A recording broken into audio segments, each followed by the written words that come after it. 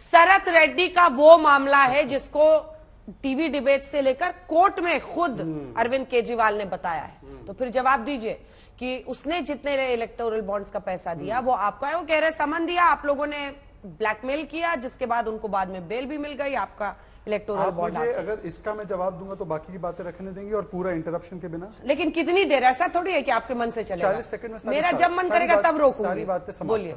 चालीस सेकंड पहले तो शरद रेड्डी एकलौता व्यक्ति नहीं है जिसके बयान पर यह केस आधारित है हाँ। दूसरी बात उसको अप्रूवल हाईकोर्ट ने बनाया। तीसरी जवाब है, पहली बार देखिए बीच में बोलना शुरू हो गया मैं इसलिए जवाब नहीं देता ये तो अपना जवाब देती नहीं है दूसरों को इंटरप्ट करती है सुन लीजिए। तीसरी बात जो बॉन्ड का पैसा आप कह रही है ना ये बॉन्ड का पैसा केवल बीजेपी को नहीं इनके भी साथियों को आया है और ये केस शुरू होने से पहले नवंबर जनवरी 2022 में आया तो मुझे बताइए बॉन्ड का पैसा लिया और उसके बाद केस कर दिया इन्हीं के खिलाफ? ऐसा बॉन्ड का पैसा दे रहे थे। और चौथी बात मैं आपको बताना चाहता हूँ कि ये सारे फैक्ट्स जो है अंजना जी आपकी कोर्ट से ज़्यादा कोर्ट के सामने हाईकोर्ट और लोअर कोर्ट दोनों जगह बोल दिया गया है, वहाँ पर फिर भी राहत नहीं मिली। तो कोर्ट से ज़्यादा समझदारी आप में है, हम में है? प्रियंका चतुर इसमें है? प्रियंका कक्कड़ में है या कोर्ट में है? और दूसरी बात, उन्होंने नीतीश जी के बारे में अभी एक बात की कि स्टेटमेंट बदलते हैं, बदलना पड़ रहा है, ये सुनिए। ने चोरी कर रखी है, मुलायम सिंह यादव ने चोरी कर रखी है, मायावती ने चोरी कर रखी है, सबने चोरी कर रखी है। और अगर ये पार्टियाँ उनको देंगी वही तो अब बीच में बोलने से बंद करवाइए देने मेरी बात पूरी हो जाने दीजिए। अब मैं पूछना चाहता हूँ कि जिनको ये चोर बुलाते थे आज उन्हीं का थैला? उठाकर कहना पड़ रहा है कि हम जो चोरी कर रहे हैं उसके लिए हमारा बचाव करें। अंजना जी देखिए मैंने उनके बीच में एक शब्द नहीं बोला। लेकिन आपका 40 हाँ, सेकंड खत्म हो गया। ऐसे 40 में मुझे अगले- चालीस सेकंड हो गया पर आपके सवाल का जवाब पहले दिया ना। इन्होंने तो जवाब ही नहीं दिया। अब जवाब ये देना में है। जुमला हाँ, मैं एक सवाल पूछ लूँ। जवाब मैंने उनको अलार्म लगा दिया था इसीलिए। जवाब ये देना है देखिए ऐसा है अंजना जी कृपया करके एक साथ एक साथ नहीं प्लीज़ प्लीज़ अंजना जी मैं अपनी बात पटेल समाप्त ने कर कहा रहा था, अंजना जी मैं अपनी बात बोलिए, आपने उनको इतना टाइम दिया अंजना जी मैं आ रही हूँ, प्रियंका जा जी, रुकिए। आप मेरी भी बात सुनेंगी ना उनकी बात हाँ ठीक है इसके बाद सुन लूँगी। हाँ।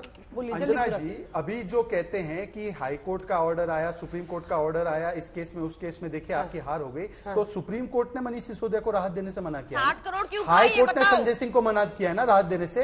हाई कोर्ट और सुप्रीम कोर्ट ने मनी ट्रेल की बात की है ना not just in PMLA matter but in IPC and POCSO matter और सीधा जवाब दीजिएगा। ये और सुनिए एक सेकंड एक सेकंड ये कह रही है चार्जेस लगाना नहीं लगाना। वो छोड़िए लालू प्रसाद पहली बार कन्विक्ट 2013 में वो कन्विक्टेड है। अब इनको पूछे इन्होंने मुझसे शरद रेड्डी का सवाल पूछा। लालू करप्ट है या नहीं मानते कि नहीं मानते बताइए। लालू करप्ट है या नहीं है? अंजना जी इसका स्पेसिफिक जवाब। मेरा स्पेसिफिक जवाब ठीक जवाब दीजिए। की पार्टी करप्ट है। सवाल का जवाब भी दीजिए ना अंजना जी आपने सुन लिया इनके 60 करोड़ उन्होंने क्यों लिए थे? बीच में प्लीज़ मैं सबको बोलूँ मैं मैं पहले आपको मैं। देखिए मैं- उरीजीत मैं पटेल करता उरीजीत पटेल का ने जवाब पूछिए। उरीजीत पटेल ने 2017 में भाजपा को चिट्ठी लिखी। उरीजीत पटेल जो गवर्नर थे आरबीआई के। उन्होंने 2017 में भाजपा को तो चिट्ठी लिख के बोला कि मत शुरू कीजिए इलेक्टोरल बॉन्ड स्कीम इससे काला अरे तो पैसा A1 सफ़ेद साइकिल की बॉन्ड क्यों ले लिया आपने? उन- ने क्यों ले ली चौदह सौ करोड़ कांग्रेस ने ली सोलह सौ करोड़ टीएमसी ने ठीक है, बीच में आप बताइए कि लालू करप्ट है या नहीं मेरी बात सुनो। तुमने। उगवाई की? क्या कांग्रेस ने आम आदमी पार्टी ने उगवाई की? क्या कनपट्टी पे बंदूक रख के बयान लिए। कोर्ट राहत क्यों नहीं दे रही प्रियंका जी? ये सवाल है ना इसका जवाब दीजिए ना। फिर बुला रहे थे। कोर्ट राहत क्यों नहीं दे रही? ये तमाम बातें तो अरविंद केजरीवाल जी ने कोर्ट में भी कहा जी ये नया फैक्ट अंजना जी ये नया फैक्ट अंजना जी ये नया फैक्ट आया है। इसके ऊपर अब ये बात कोर्ट में कोर्ट के सामने अपील की थी, खुद केजरीवाल ने। पीएमएलए की प्रोविजंस ऐसी हैं। हम कर चुके हैं। आपसे जवाब मांगा ईडी से। पता है नहीं कुछ पता करके बैठा करो यहाँ पे। ये देखिए बताओ प्रियंका जी मैं आपके साथ बदतमीजी नहीं कर सकता। मैं अपनी डिबेट संयमित तरीके से करता हैं, तुम आप खा तू के हो। डिबेट की आदि हैं। मैं आपसे बात नहीं कर रहा हूँ। मैं? अंजना जी से कह रहा हूँ कि ये सारे फैक्ट अरविंद केजरीवाल नहीं मैं ये आप दोनों को कह रही हूँ एक सेकंड आवाज़ नीचे कीजिए। दोनों की आवाज़ नीचे कीजिए। आप लोग प्लीज़ मुझे एड्रेस कीजिए। तू खा के बैठा है तू चुप हो जा या आप बोले तू तड़ाक अच्छा नहीं लगता है। देखिए देखिए घर में बैठ के लोग देखते हैं बच्चों के साथ देखते हैं समझना चाहते हैं क्या हो रहा है किस पार्टी की क्या आइडियोलॉजी है। ये तू तड़ाक अच्छा नहीं लगता है। प्लीज़ भाषा की मर्यादा रखिए। मेरा सिर्फ़ इतना निवेदन है। महुआ मांझी जी एक सेकंड में नहीं अब रुक जाइए शहजाद। नहीं शहजाद जी शहजाद जी। सारी बातें कोर्ट में हाँ उनको पता है वो कहते हैं कि आप लोग बदतर हैं उनसे। ये उनकी अच्छा, दलील होती है। तो मुझे पता है आप लोगों के सवाल और जवाब है? मुझे आगे बढ़ने दीजिए। डिबेट में please. Shehzad ji don't do this Mahua Manjhi ji. आपके पास आते हुए मेरा प्रश्न आपसे यह है कि मामला कोर्ट का है कानूनी है। पहले तो हेमंत सोरेन जी ने गिरफ्तारी की बात देखते ही उन्होंने खुद ही इस्तीफा दे दिया था। अरविंद केजरीवाल कहते हैं हम तो नहीं देंगे। अभी तक वर्क फ्रॉम होम तो सुना था वर्क फ्रॉम जेल भी चलेगा। हटाइए उसको। दूसरी बात अगर नेता पर भ्रष्टाचार का आरोप है तो लोकतंत्र कैसे खतरे में है? जनता तो बोलेगी हम तो वोट डालने जाते हैं। हमारे वोट से ही डिसीज़न आता है। और ये लोग हमें उल्टा ही समझा रहे हैं कि लोकतंत्र गड़बड़ है तो क्या हमारे वोट पे शक है इनको? क्या ये स्ट्रैटेजी ही गलत नहीं है? देखिए इसमें ऐसा है कि जी महुआ जी।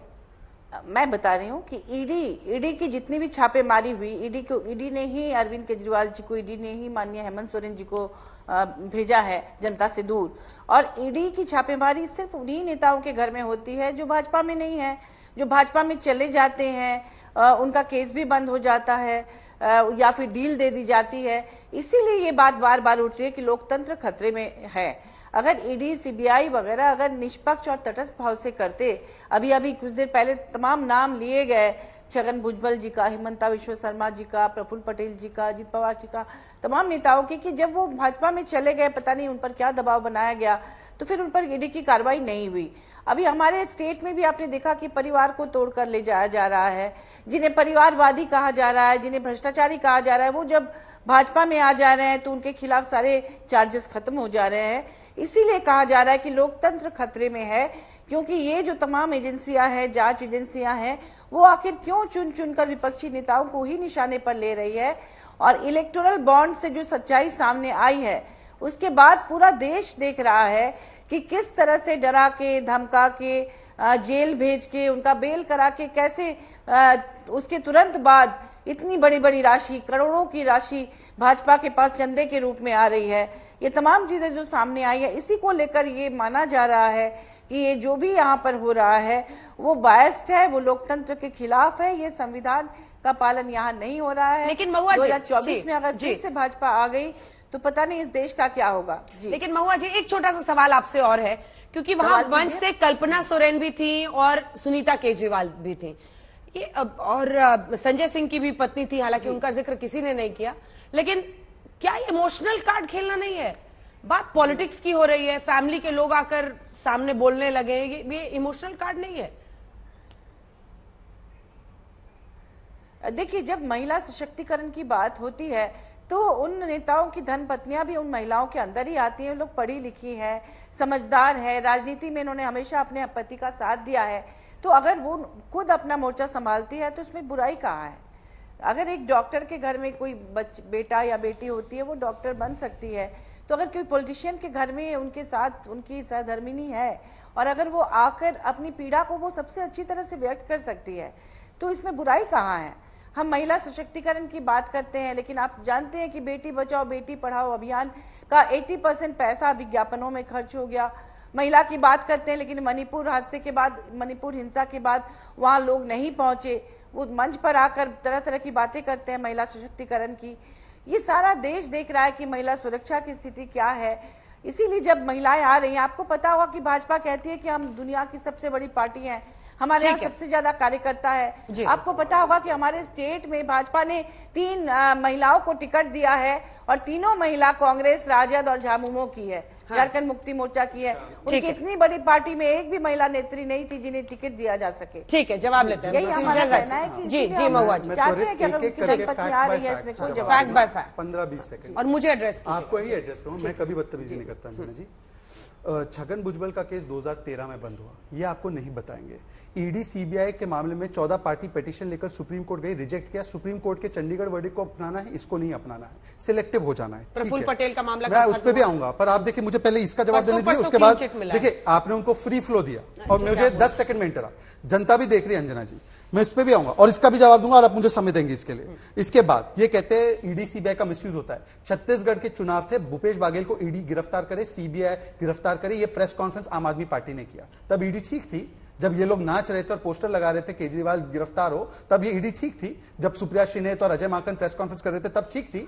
लोकतंत्र से बचाव की बात करें ना, बंगाल में कांग्रेस कहती है लोकतंत्र पर खतरा ममता दीदी ने किया। पंजाब में कहती है खेरा की गिरफ्तारी से खतरा हुआ। केरला में कहती है कि विजय ने खतरे में डाला है। और दिल्ली में आकर ये लोग उन्हीं के साथ लोकतंत्र बचा रहे हैं। उसके बाद मैं आपसे पूछना चाहता हूँ, इन्होंने कहा महिलाओं के बारे में। महुआ जी, आपको तो पता है, व्यक्तिगत रूप से मैंने आपके हमेशा सम्मान और बहुत आपसे रिस्पेक्ट से बात करता हूँ। ये संदेश खाली पर एक मुझे कंसोलिडेटेड स्टैंड बताइए इंडिया अलायंस का जिसमें शाहजहां को लगातार ममता दीदी ने को असेंबली में जाकर डिफेंड किया। खड़गे जी ने कहा छोटी मोटी घटना घटना है। सुप्रिया श्रीनेत ने 25 तारीख को कंगना रनौत और मंडी का जो अपमान किया अभी तक वो कल्प्रिट सामने नहीं आया किसने किया है वो ट्वीट या पोस्ट और आज तक आपने एक शब्द नहीं बोला। लाल सिंह जो आठ साल की बच्ची के बलात्कारी के साथ खड़ा था प्रियंका वाड्रा ने उसको बुलाकर टिकट दिया। आप लोगों ने 2018-19 में कितना उधर रैली किया था ठीक। उस पर एक शब्द नहीं बोल पाया आप जी ठीक है। और मैं आपके महिला से शुरू हुआ, कहीं पटेल वाले पे भी आ जाऊँ जाऊँ हाँ। पटेल वाले पे पूरा जवाब सुनिएगा।